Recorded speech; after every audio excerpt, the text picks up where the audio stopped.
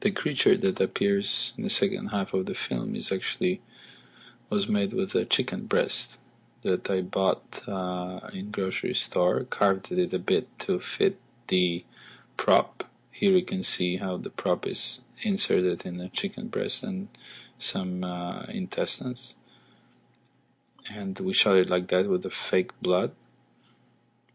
It uh, stank a little bit and it was really unpleasant. And then in uh, Softimage XSI, I modeled and uh, rigged the, the little fingers that were supposed to be moving uh, for the creature. Animated it there.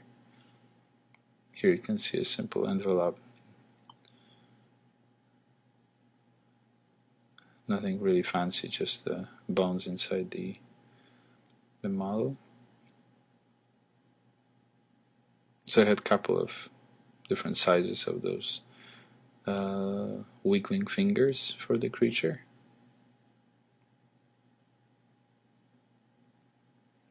Then I exported all of it uh, through uh, the plug-in point oven to Lightwave and then I shaded and textured and lit it in Lightwave.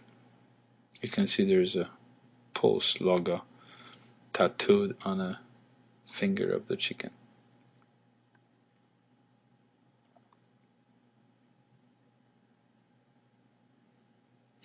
So that was all rendered here in Lightwave.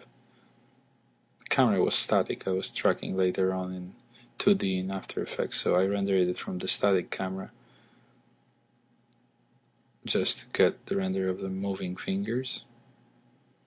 Here you can see it with F prime, the logo of the evil company.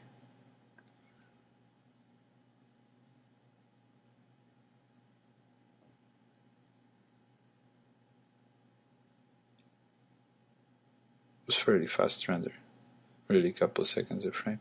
And then in After Effects I comped but first I tracked it in, so in 2D uh, using 2D tracker. Oh, actually, it was I think it was a combination of 2D tracker and hand tracking, because uh, the plate was fairly blurry, so I couldn't get a hold of a good tracking point.